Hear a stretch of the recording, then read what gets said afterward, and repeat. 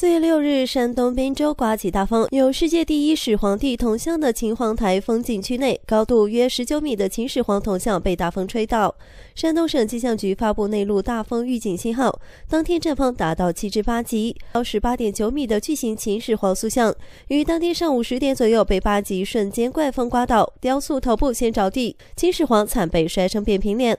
当天，山东滨州狂风大作，巍峨屹立的秦始皇铜像在狂风助力下腾空而起，飞出数十米，被吹倒在地，面目全非，铜制的冕旒也散落一地。当日，山东滨州气象台十一时二十分发布大风黄色预警信号，而由于铜像太大，当地工作人员都束手无策。